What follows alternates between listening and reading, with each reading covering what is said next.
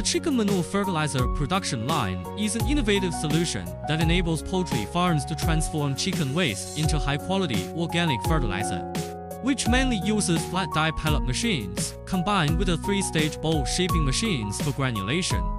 Our equipment is the most practical granulator for manufacturing organic fertilizer granules with a yield rate of over 96%.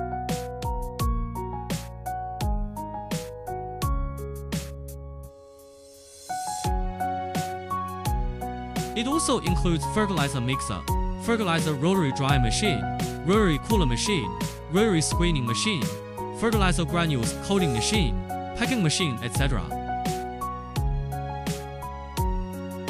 The advantages of this production line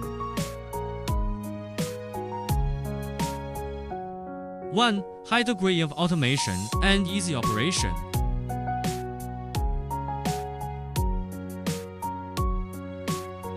2. The ball forming rate can reach 96%, and the granulation standard is spherical, with uniform particle shape and almost no return material.